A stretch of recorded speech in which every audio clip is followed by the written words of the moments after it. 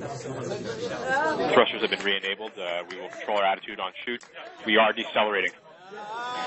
Wrist mode under our 10 kilometers parachute, decelerated uh, and, 20 and descending. We are at degrees per 150 second. meters per second. Dynamics phase. Come back again with uh, wrist mode dynamics. Wrist mode is nominal. We are Blood 9 open. kilometers and descending. millie's active. Valid range. Net filter converge with a velocity correction of 0.7 meters a second. We've acquired the ground with the radar. An altitude of 8 kilometers. Heat shield sep- has separated. We've found the ground. expand tones due to earth occultation as expected. We're Standing by to prime the MLE engines in preparation for powered flight.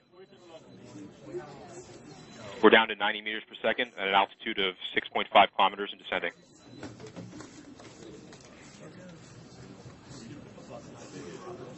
Flight EDL, we've got some Tweedo warnings.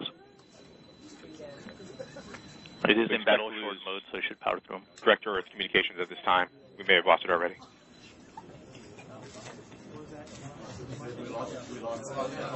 We're down to 86 meters per second at an altitude of 4 kilometers and descending.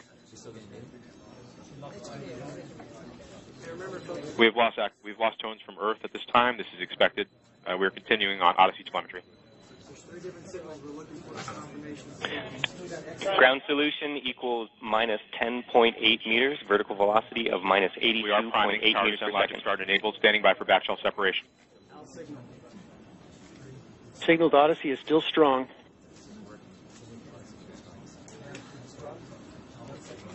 We are in powered flight.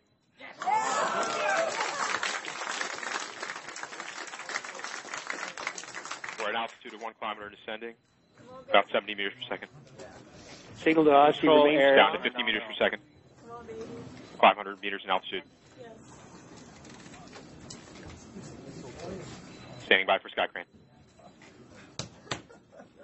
Constant velocity accordion nominal. Altitude error 5.9 meters.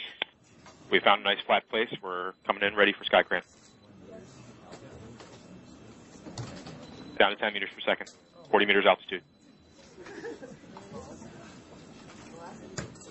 Sky crane has started. Descending at about 0.75 meters per second as expected. Expecting bridle cut shortly. Signal to Odyssey remains strong. Tango Delta nominal.